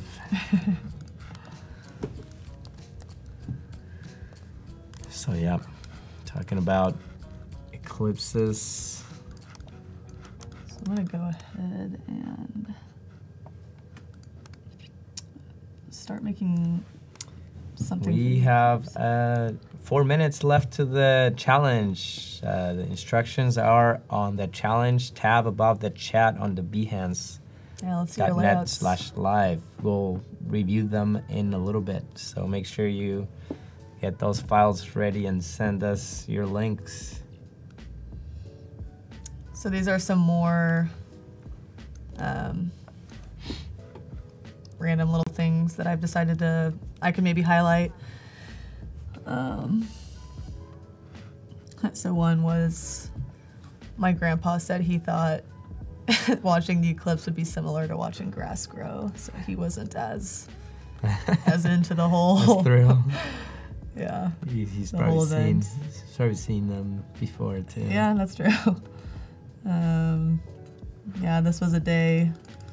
If you've ever had a day where you drink more coffee than water, hmm I think that was one of those. I think I just did that today. yeah, same. Um,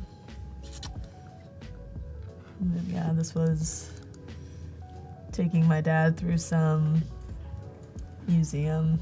I think he was more interested in where he could sit. Cool.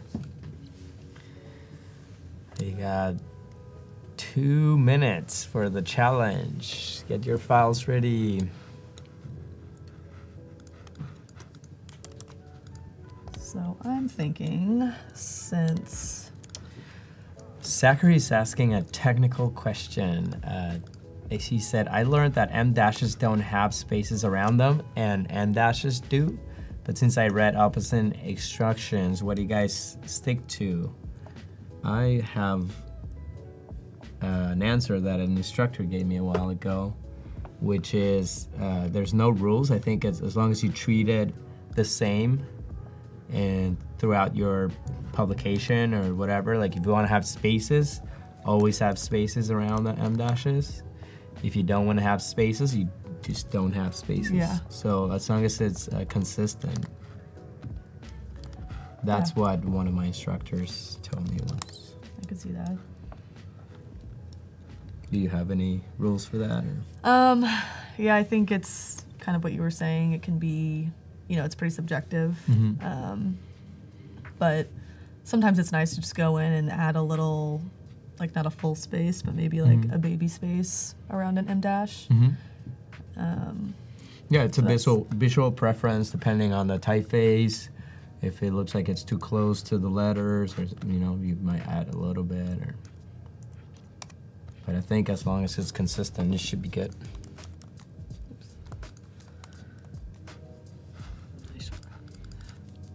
so I'm thinking,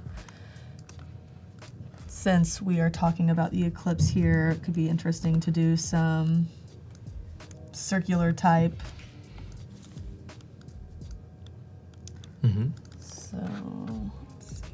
Once again, kind of going optical here. Cool.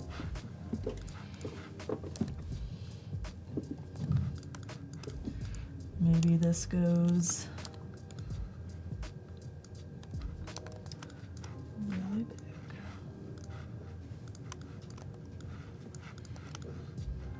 Cool. That looks like an eclipse. I did a I did a segment here with Adobe um, where I designed um, some packaging yeah. and it was an, an eclipse thing. I was playing around with like the faces of the moon and how it starts to look, you know, Yep. bigger and smaller. So this kind of reminds me of that. That's cool. All right, challenge deadline is here. All right. So we're gonna review some of the submissions, and the winner will get a year subscription to the Creative Cloud. Right on. Looking forward to reviewing our Go ahead and pull them all up on Docs. our submissions. So I'm gonna start opening this up.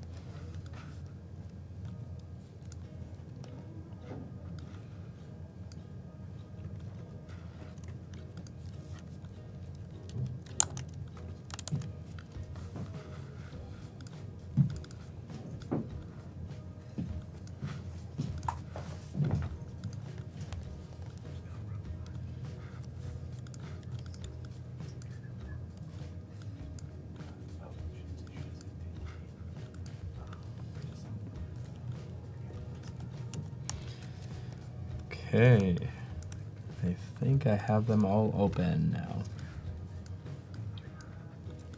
Submissions are rolling in. Yeah, looking very 90s. So yeah, we're gonna review the submissions now. And Rachel's gonna pick the winner. All right, here we go. Here we go, here's the first one. We got definitely 90s vibe going on. Mm-hmm. The Even the photography. Yeah. and Yeah, the squiggles. yeah, very 90s. The photography outlined, even kinda. outline shapes. Yeah. Feels very 90s, especially on that like stark white background. Cool. So this feels, uh, this I believe is a spread. So nice job on the spread. Definitely within the rules of the 90s theme. Um, great job. I like the use of color and photography choices is on point. All right, so this one feels a little bit more grungy, I guess. Yeah, we got that grungy type in there this time. Definitely um, Feeling it? photography feels 90s. Yeah, it looks like some of that, those rave references Yep. in the Oh, nice. comments. Yeah, photography again on point. Oh, yeah. Those pants are super cool. Yeah, those are like trendy again. So we got that neon copy. Nice. Great job. Great use of type. I like how you're breaking up the layout. This line here even Yeah, it hints a little bit back to like 90s layouts. yeah. Yeah, great job. Uh, Maybe something you could do too is bringing that angle somewhere else. Mhm. So tie it back to maybe on the homepage it's even just like a little slash line Yeah. somewhere or you know something that just kind of nods to that yeah, that shape. Good typeface choices, definitely hinting to the 90s. So we're jumping to the next one. Nice. Hmm, that's cool. This one, it feels a little bit more Art Deco, but Yes. Yeah. I really Maybe like not- the layout. Maybe not the right era, but Mhm. I agree. I also think the photo is funny. This one. Yeah, little kid pushing his empty Mhm. stroller. Yep. So yeah, it's not, it's a nice layout. Um, nice typefaces Mhm. and colors are super cool. But yeah, I feel like this feels more Art Deco-ish. Yeah, yeah, I would agree. But it's a nice that layout. full circle O, hmm which is nice. Yeah, really nice. So, ooh, Ooh, all right. All of We're the getting all of the yeah, '90s yeah. mashup. We got the Mac. We got the funky type. What? Game Boy. Oh, yeah, this looks like a magazine I would buy at like my book fair Yeah, in elementary school. Definitely picking some good references. Some postmodern uh, furniture. Some neon. Yeah, some neon, feels neon. pretty '90s. Cool. Nice job. Game Boy. Use that one a lot. Ooh, all right. Ooh.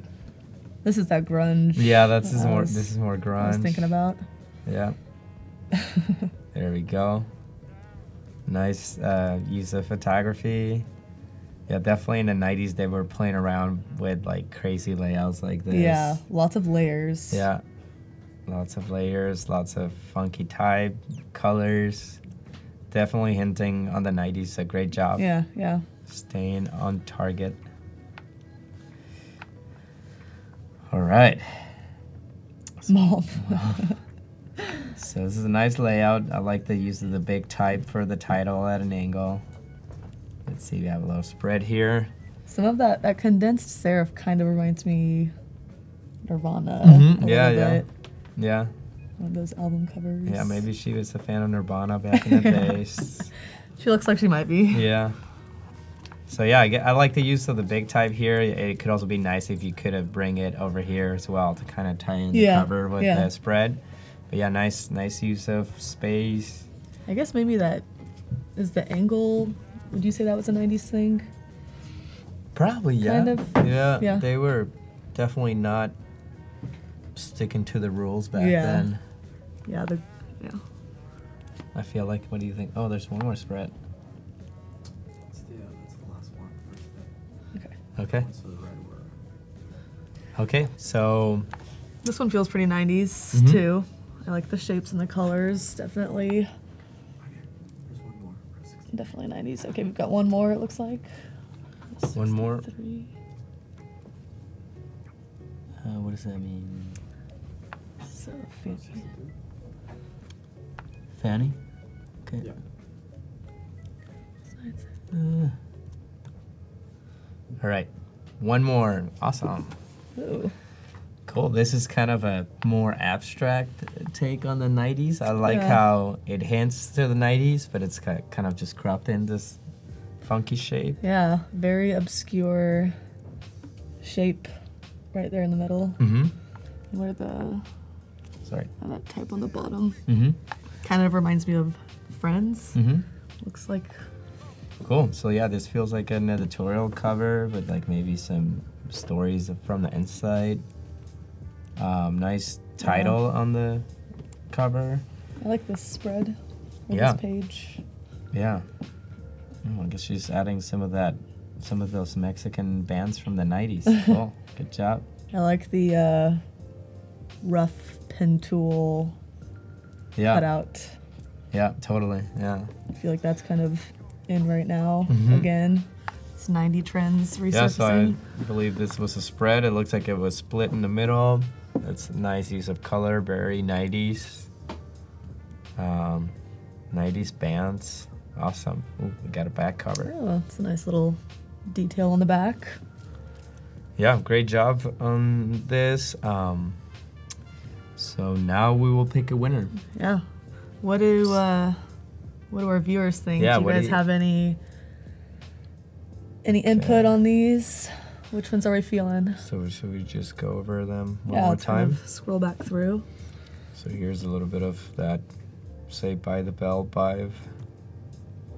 More grungy. Yeah, it's kind of like refined, grungy, maybe. This one felt a little bit more Art Deco, but it's it's nice design. And this one is an explosion of 90s Yeah. icons, furniture. Yeah, I'm actually kind of digging just the total like mashup. Yeah, that, that's it's a very 90s. yeah. Maximal, Yeah. stick. I'm saying that right. Cool. Oh, was there one more? Is that it? I think there's more. Oh yeah, yeah, this kind of skater. grungy. Yeah, lots of texture. I wonder, do you think, do you think the uh, distorted type was a typeface like that, or is that something that? I think that it, people started doing it at first, and and and like just messing up with the type, and then a bunch of fonts came Yeah, out that yeah. way later on. Um, I believe that's it, right? is that all that we- So, should we go over? Um, you have a favorite? So maybe we narrow down to a couple, and then Yeah. you guys can help us pick Let's see. which one. Um, okay, so Ti- the Titanic one is true to the 90s. It's this one. yeah, I like that one. Um, so there's that one, and then what was the? So we have um, the grungy one, the 90s, I liked the uh, skatery grungy. I like this one too. this skatery one's nice. grungy. And This one that uh, the cover I think has a little skater on it. Mhm. Kind of liked that. Um, Cool. what do I think? We're getting a lot of Titanics. People liking the Titanic one, which I agree. Yeah, That one. Titanic is getting some boats. Um, you want to pick one? I vote Berlin. I vote Berlin. Which one's Berlin? Oh, this one. That was one. our little Art Deco one. Mhm. It's it's a nice design. It is, yeah. It just it feels like it's not on the yeah. theme. Yeah. Um. So yeah, I'm thinking I'm gonna go with the viewers here and vote the Titanic, Titanic? crazy mashup All right. catalog looking. So Rachel's picked Titanic as the winner. Congratulations! You get a year subscription of uh, the Creative Cloud. Ooh. That is great, and we'll have the name in a second. Votes are coming in. Votes are coming in. We're trying to Yeah, find. we're, we're we're figuring out which who submitted this It Claire. Titanic. So Claire is the winner. Congrats, Claire. Congrats. Good job. Free Adobe for a year. Yep. What's up? All right. So yeah, again, we have a full schedule coming up um, with uh, more editorial design, and yeah, make sure you check it out. Uh, right now, we have Rachel Roth who is designing a zine, um, and then at 11 Pacific time, we have Stephanie, hosted by Kathleen, and then at one we have Lucas. They're all creating zines, I believe. I uh, think so, yeah. editorial um, this is editorial week so yeah if you like grids if you like typography make sure you stay tuned and you're gonna learn some great stuff and see people just having fun and being creative yes. so awesome schedule ahead and it'll be going till thursday so every day same same hours um, there's a challenge going on on every segment so if you still want to win a subscription to creative cloud make sure you stay tuned on the next segment and submit your uh, challenge Yes. I think tomorrow we're also looking at a por- couple portfolios. oh yeah tomorrow Yeah. we'll be looking at portfolios instead of a challenge so we'll be reviewing uh, portfolio. So for a chance to, to get your portfolio reviewed just make sure you submit it and um, there'll be instructions on the chat. So check it out tomorrow. Yeah. it'll be portfolio review on all the segments. Today still have challenges and giveaways for the rest of the segments so stay tuned. Yes. All right, so jumping back into our little typographic microzine, as some have been calling it, um, I'm just going to kind of flip through here to review what we have. Uh, once again, we're just working with a lot of content and a lot of just type and mm-hmm. grids and all that. Yeah, so she picked three typefaces. She's playing around with those throughout the zine. Um, she has four colors. Um, it's somewhat of a calendar of writings that she made over the course of a year. And now she's turning it into a zine. A little pocket journal, tiny micro zine, four by six Yep. inches. Yep. And 20 pages now instead of 16 because underestimated that a little bit. So we have variations on layouts and seasons, and we'll still be playing around and watching Yeah. Rachel be creative. We have one and a half seasons to go. Yep. getting getting there. Yeah. So we still have uh, the rest of today, um, and then we'll have tomorrow. So stay tuned to see how this zine wraps up, and um, yeah, hopefully get created at some point or printed. Yes. Yeah. Definitely. Cool. Okay, so I'm kind of going back. Somebody's saying the double negative black cover is pure evil, and I like it. Is Cool. that this one? I think so. I guess it's like a. It's kind It of feels like, like it's like the cover reverse a little bit, right? Yeah, yeah, yeah. It's a little bit of an optical Mm-hmm. illusion. Yeah, maybe maybe when you switch around, like the pages, you see the Yeah. transition, or it makes it look evil. I guess. That's cool. I like that. I'm down with an evil spread. Yeah, Claire, congrats. Adobe's is sending you a message. So I am going to go ahead and mess with a page number or something like it. Psst, I did it. Mohammed says, Rachel's so great. Wow, thank you, Mohammed. I actually quit and reopened InDesign to check if her name was there. Uh. Not sure I understand that. So what I'm doing here is um, So I made all of my margins 0.25 and then left 0.5 in the middle for some page numbers. Um, and I, I picked that number because it was double what this is. So then that allows me to just center align these page numbers and have it optically match the margins that we're working with. Um, so I'm going to type in what our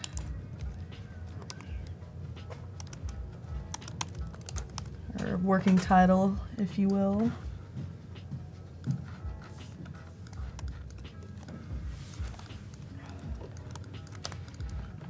And I'm not really loving how far past the five that mm-hmm. line goes.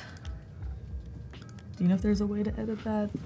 I'm not I'm sure not if you can edit the distance, but so I can go in here and I can offset it, see, yeah, I can change how offset it is or the weight, but I'm not sure if there's a way to control that. If anyone out there knows of any tricks, you should let us know. Um, but what I might just have to do is go manual Mhm. and uh, Yeah. make the line myself. You can always just add that to your master page. Yeah. And just manually. You can Keep the even place the line in the text box, Oh yeah. which keeps it even more, Mhm. you know. Yeah, thank you everyone for joining the chat. Lots of fun comments. Um, yeah, so stay tuned. Continue participating. We love comments. If you have suggestions, anything you want to add to this, feel free. Yeah. Give us some feedback. Mm-hmm. Uh, somebody's saying use paragraph rules instead.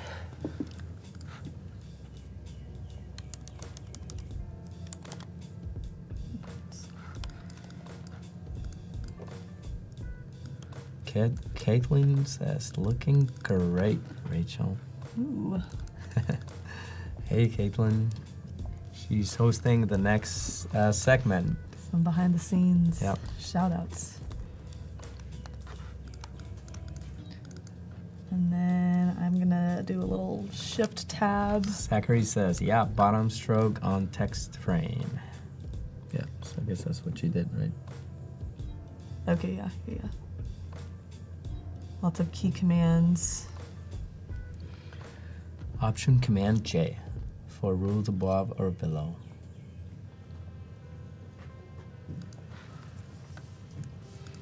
All right, so if anyone doesn't know the, uh, Paragraph rules goes as far as the length of the text box, says Min Bill.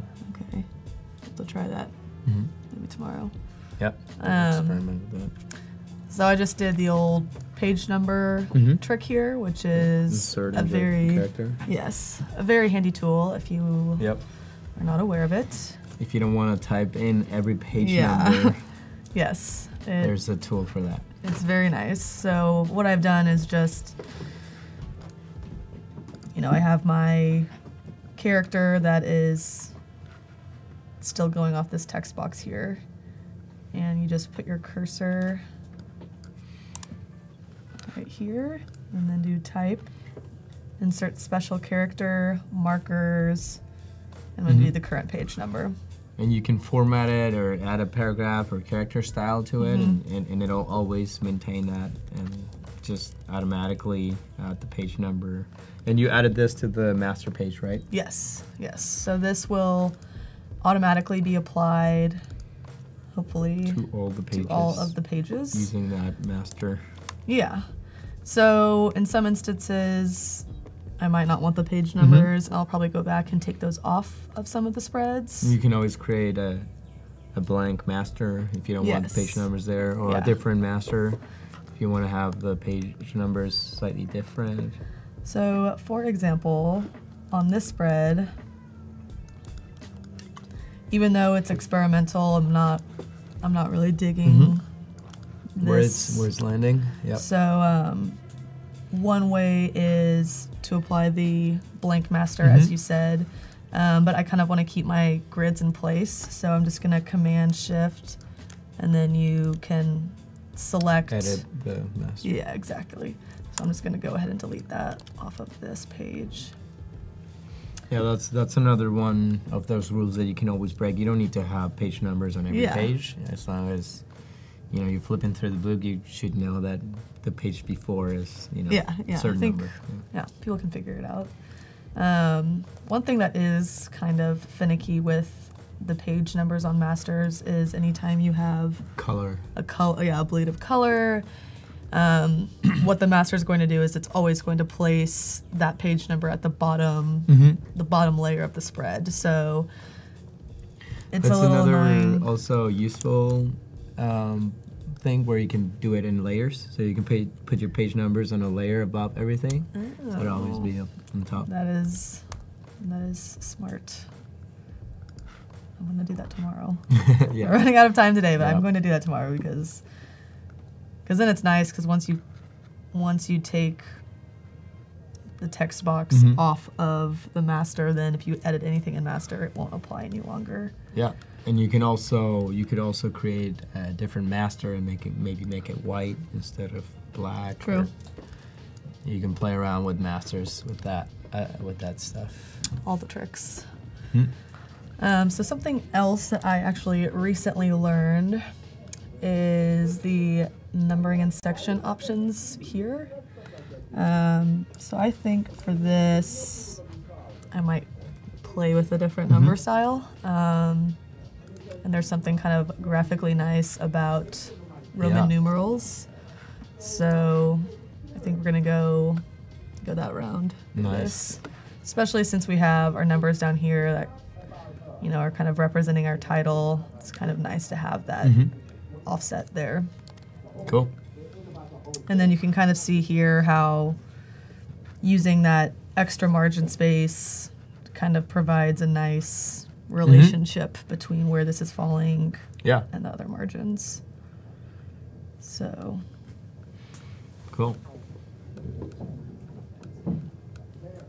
Yeah, there's tons of technical things you can do, like automated stuff that um, InDesign does really well. Also, like, you know, I've also done like a table of contents where it automatically pulls the titles from like a specific like paragraph That's fancy. style.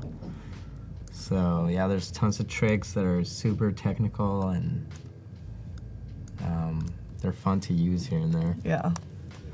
Yeah, once you kind of learn how to cheat the system in those little ways, Mm-hmm. it's nice. Yeah, especially when it automates stuff for you. yes.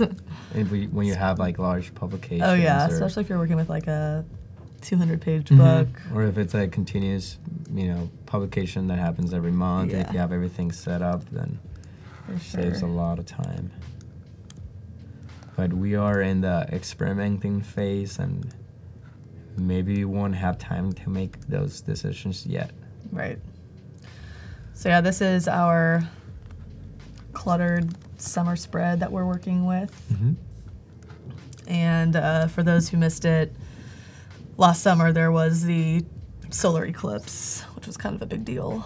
So I'm choosing to highlight that on this spread.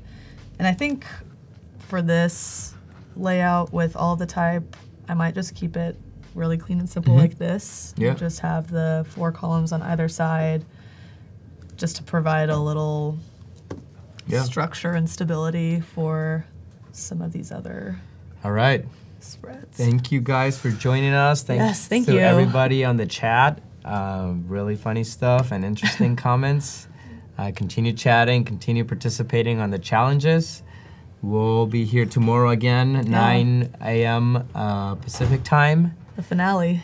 Yeah, the finale. We'll finish this zine, or Rachel will. Um, and stay tuned for the next uh, segments with more editorial design coming up today. So thank you guys for joining.